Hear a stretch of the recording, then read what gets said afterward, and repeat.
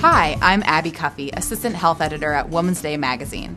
Talking on the phone with friends and family is actually a great time to squeeze in some exercise moves.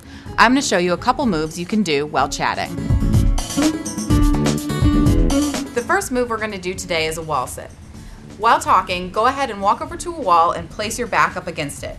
You're going to want to scoot down so that your body is in seated position, basically at 90 degrees if you can go that far. If not, just go as far as you can.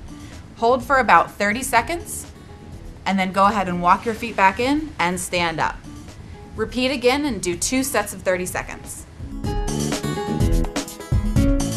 The second move we're going to do is kicks. Go ahead and walk over to a kitchen counter, bookshelf, or wall that you can hold onto for support. Start with both feet together and you're going to lift your outside leg and bend it so that your foot is moving towards your knee and then kick it straight out, squeezing all the muscles in your leg, and then bend it back in towards your knee.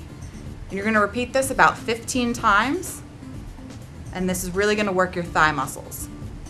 After the 15, just bring it back down, take a few seconds rest, and then go ahead and switch and do it on the other side.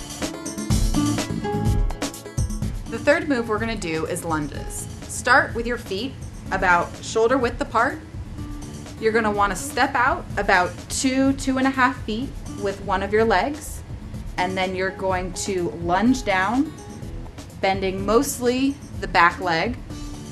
Your front knee is also gonna bend, but make sure the knee doesn't go over the toe. You're wanna, gonna wanna keep it right in line with the toe.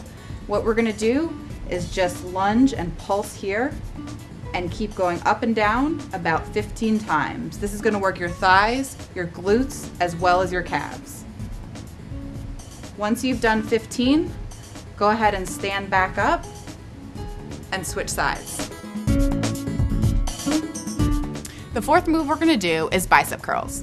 While talking on the phone, go ahead and look around the house for an item such as a tape dispenser that's about two to three pounds that you can use as a weight for the curls.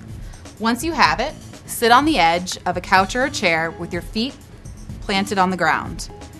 You're gonna wanna start with your arms straight and down by your side and then you're just gonna curl it up towards your body and then bring it back down. And then curl it back up and bring it back down. Do about two sets of 10 of these or more if you feel comfortable, and then repeat on the other side. The last move we're gonna do is a stretch. This is called a runner stretch, and it's great to do all on the phone because it's also gonna improve your balance.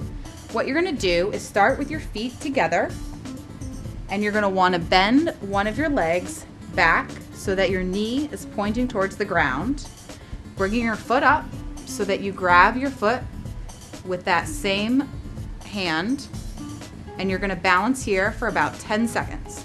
You should feel the stretch in your thighs and it's also working the muscles on your opposite leg. After holding, bring that leg back down and switch sides. I'm Abby, and you're watching womansday.com.